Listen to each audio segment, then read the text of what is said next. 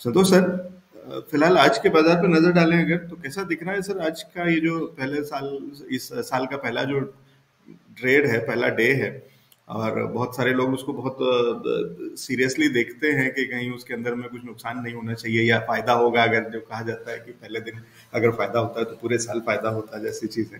कहीं कुछ होता हुआ दिख रहा है सर? अभी फ़िलहाल पॉजिटिव और डे हाइस के आसपास तो काम कर रहा है।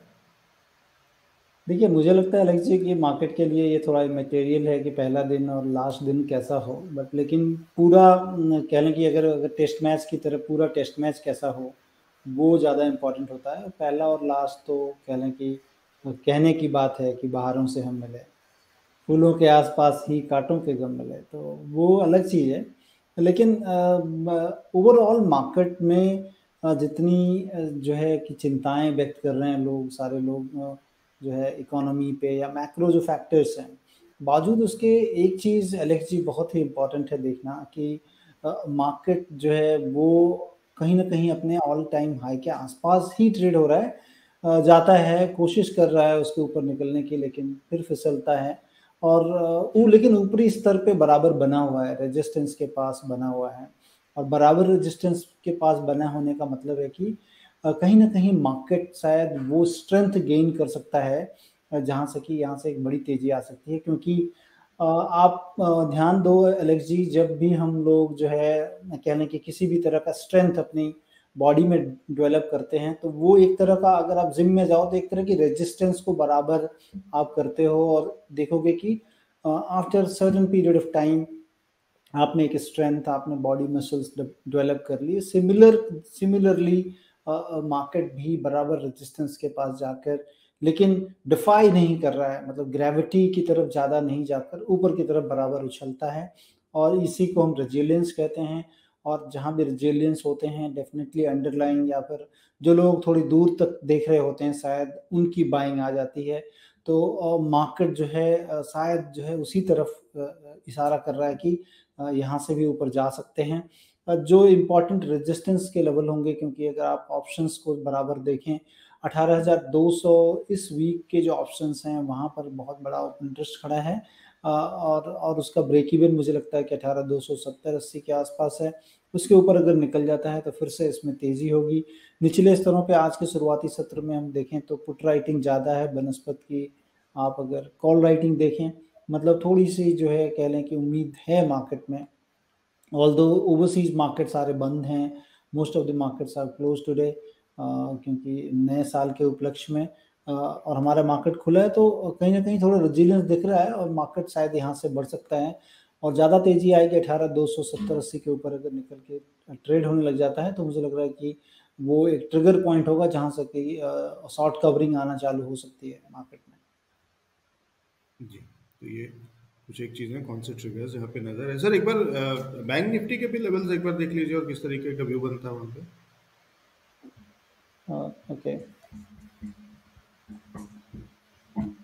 क्योंकि निफ्टी के कंपैरेटिवली थोड़ा ज़्यादा तेज़ी के साथ में काम करता हुआ दिख रहा है।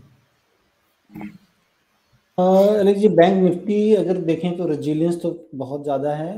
बनस्पत अगर आप जो है विजय विज विथ जो रिलेटिव कॉम्परेटिव स्ट्रेंथ होता है दोनों इंडेक्स में ज़्यादा है।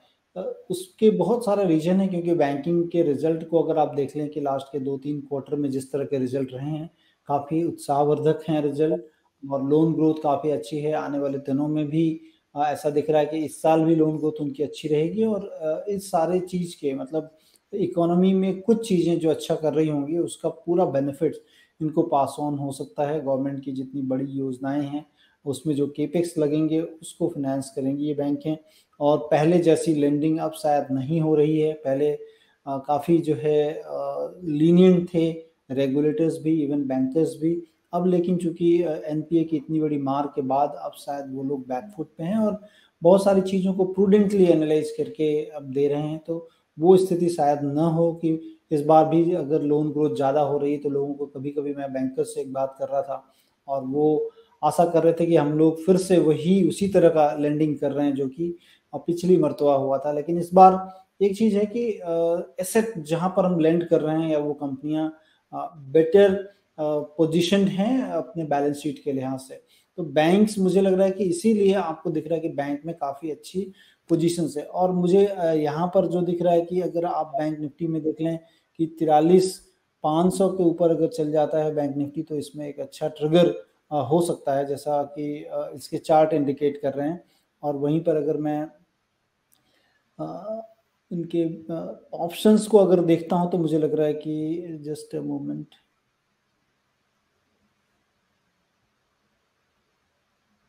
हाँ ऑप्शंस में अलग जी अगर देख लें तो बैंक निफ्टी में बहुत ज़्यादा पुट राइटिंग है। जैसे कि हमने निफ्टी में जो पुट राइटिंग और कॉल राइटिंग के बीच जो डिफरेंस है यहाँ पर अगर देखेंगे तो आज तिरालीस तीन सौ, तिरालीस दो सौ, तिरालीस एक सौ, इस पे जो पुट राइटिंग है पंद्रह लाख, सत्रह लाख, तेरह लाख के करीब है और कॉल में अगर राइटिंग देख लेंगे तो वो पाँच लाख, सात लाख, तीन लाख है। तो जो difference between the call and put है, मैंने people are more convinced here bank Nifty में कि ये ज़्यादा तेज होगा। इट सोज ऐसा इंडिकेशंस मिल रहे हैं। तो इम्पैक्ट शायद बैंक निफ्टी पे ज़्यादा हो बैंक निफ्टी में रिजिलियंस ज़्यादा हो और ज़्यादा तेज से बढ़े। तो ध्यान रखें तिरालीस पाँच सौ जैसा मैंने बताया कि काफ़ी इंपॉर्टेंट लेवल हो जाएँगे। उसके ऊपर चलता है तो उसमें अच्छी तेज़ी होगी। तो ये कौन से लेवल्स इंपॉर्टेंट हैं और किन लेवल्स पे नज़र है वो बता दिया है संतोष सिंह ने। तो ये बढ़िया तरीके से हम समझते चल रहे हैं नए साल के पहले दिन किस तरीके से बाज़ार पर नज़र है और कहीं ना कहीं उसी से साल भर का भी इशारा थोड़ा सा मिल ही सकता है, लेकिन उसकी इंपॉर्टेंस कुछ खास नहीं है आज के दिन की जिस तरीके से इन पर्टिकुलर जो संतोष सर बता रहे थे तो वो केवल एक साइकोलॉजिकल चीज़ें होती हैं। संतोष सर, इस समय स्टॉक स्पेसिफिक कोई स्ट्रेटेजी बन रही है क्या? देखिए जब जब हम पहले दिन ट्रेड कर रहे हैं आज हमको दिख रहा है कि काफ़ी ज़्यादा बढ़त मेटल्स में आने वाली है। और पहला, जैसा मैंने पहले भी आपसे बात कही है कि मेटल्स में शायद जो दिन थे कि जो ख़राब एक्सपेक्टेशन थी, वो शायद सब अब थोड़ी सी फेड अवे होते हुए दिखी और आने वाले क्वार्टर्स में रियलाइजेशन इनके बेटर होने चाहिए। और जैसे कि कह लें कि चाइना से जो न्यूज़ आ रही है ओपन अप हो रहा है तो मुझे लग रहा है कि मेटल्स में एक एक अच्छा रुझान होना चाहिए और मेटल्स में फेरस मेटल और non ferrous metal basically aluminium पर अगर ध्यान दें तो मुझे लग रहा है कि वहाँ पर ज़्यादा अपॉर्चुनिटी हो सकती है।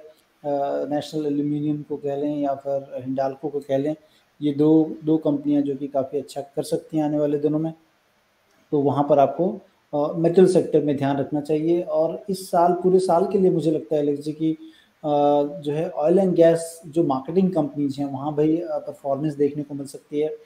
तो आपने देखना चाहिए कि उस जगह जो स्पेस है, वो काफ़ी हैपनिंग है। वहाँ पर बहुत सारी कंपनियाँ जो कि काफ़ी अच्छे प्राइस करेक्शंस हुए हैं।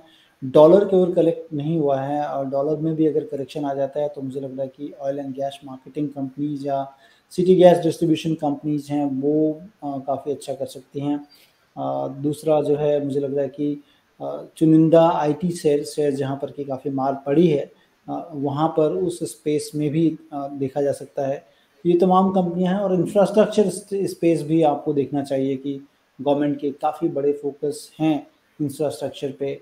लॉजिस्टिक स्पेस पे ध्यान रखना चाहिए और हम काफ़ी बात कर चुके हैं इसके पहले कि लॉजिस्टिक स्पेस में जो कंपनियाँ कर रही हैं अच्छा उन पर आपको ध्यान रखना चाहिए।